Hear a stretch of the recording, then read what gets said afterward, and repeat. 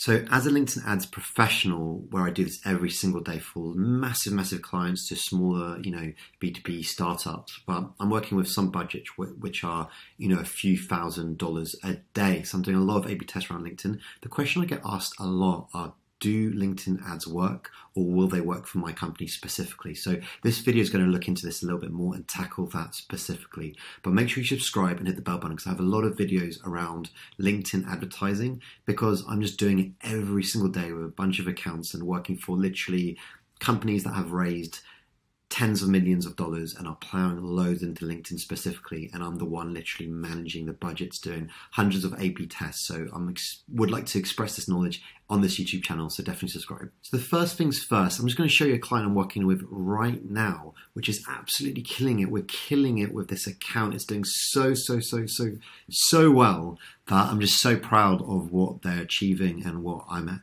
helping them achieve, which is so good. And I just want to show you this example just to show you that LinkedIn ads really can work really, really, really, really well.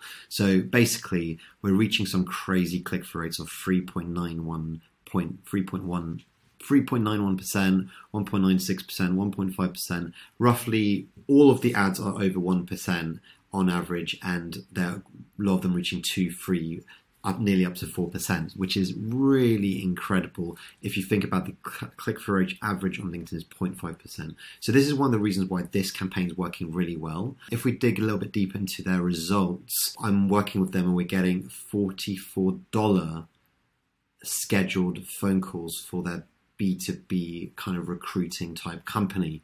And $44 per sign up is ridiculous. This is like better than Facebook prices.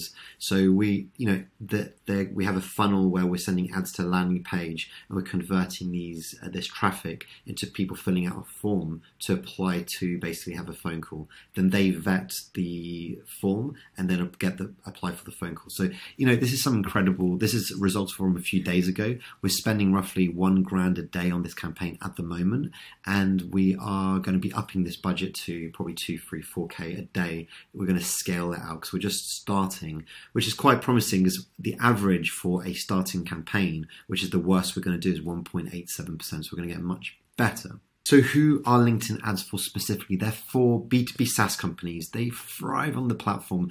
B2B SaaS companies, recruiting companies, like consulting companies, service based companies, any kind of company basically which has a high lifetime value of roughly $10,000 or more can do really, really well on the platform. The higher your um, lifetime value, the more confident I feel I can make your ads really work.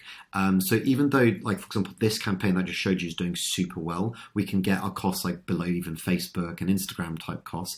Other less exciting company because this company I'm working for has a really enticing offer and that's why and it's really hitting the right types of people with a really enticing offer. That's why it's working so well mainly.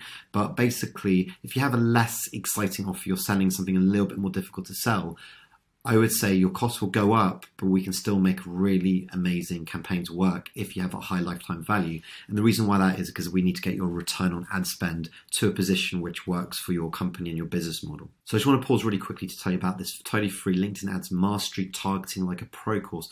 Totally free. Just click on the link in the description below, get free access and you can do this free course that I've created. I spent a lot of time creating, and it goes, you're going to get really deep into how to target like a pro. You need to target way beyond just job title. Job title is actually not the best specific way to target necessarily. There are four other, or there's probably about five other ways I would say specifically, four ways plus ABM style targeting. So check out this course. It's going to give you a lot of value and an understanding how to target with LinkedIn advertising. The reason why LinkedIn is so good, why would you go to LinkedIn over, say, for example, Facebook or Instagram, well, it's all about the targeting. It's all about the people you can reach and the mindset they're in when you reach them. They're on LinkedIn with a business understanding. They have the business mindset and they're ready to make business decisions. They're not in that mindset on Instagram and Facebook and YouTube and other places. So LinkedIn has this really good mindset to reach people on the right mindset. But also the types of people we can reach are ridiculous. We can be laser sharp. Whereas Facebook and Instagram is a bit of a